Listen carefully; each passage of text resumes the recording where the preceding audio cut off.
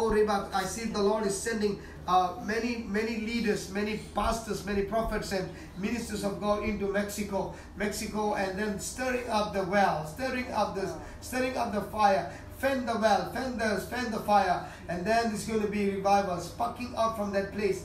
Oh, Ribaka Babariando, Robo Koboborianda. Thank you. Spain is going to be affected in a very powerful way. Spain is going to send forth many missionaries. Spain's season is coming very quickly, and many missionaries from Spain are going to go to the ends of the parts of the world, different parts of the world. The Lord is going to stir up them, stir up them. Thank you, Lord. Thank you, Lord.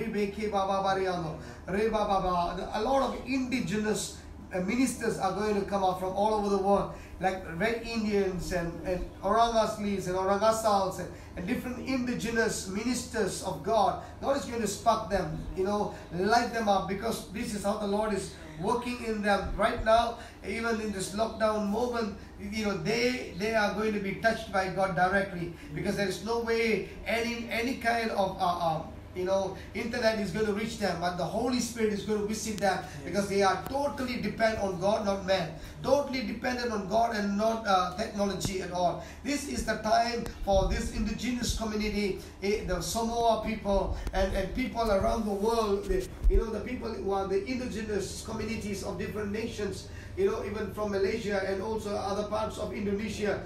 eh, you know, all these people are going to be touched in a very powerful way. The indigenous community are just going to come up like like never before. These are the unknown faces, the unknown community, the unknown people, probably forgotten, but they are going to rise up in a very powerful way, and they're going to bring revival into the nations. I want you to come in agreement in the spirit, in the spirit, in the spirit, and bless them, bless them, Father. We bless them with the Aaronic blessings, with the Aaronic blessings. We bless them, Lord. Let your face shine upon them, Lord. Let your countenance shine upon them, Lord. Let your glory shine upon them, Lord. Raise this generation, of God, the forgotten generation. God, raise them up at this season, at the moment of time, because we know, Holy Spirit, the river of God is entering into their houses. The river of God is entering into their into their community, oh God, and they are coming into a sense of understanding who you are and who they are in Christ Jesus. Lord, powerful revelations, powerful healing, signs and wonders, God, are taking place right now, God, that they will take this and Lord, they- they're going to rise up, oh God. Prepare them, oh Father,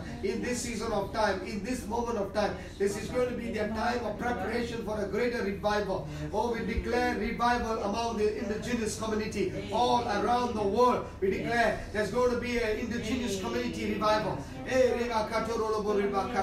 Indigenous community are going to spark, are going to rise. It's going to be a great revival, great revival. Oh, Reba Babariya, one of those that be touched at this moment of time. But even people could not reach them, but the Holy Spirit will touch them. The river from the presence of God, from the book of Revelation, chapter 22, what we see, the river from the throne of God, the throne of the of the Son of God, the, the Lamb of God, is going to come into their houses, come into their come into their villages, and they're going to spark power, spark anointing and fire. The. Thank you, Father. We bless them, Lord. Let them rise. Let them rise, oh God. Let them rise in this season of time. Bless them in Jesus' name, Lord. Thank you, Lord.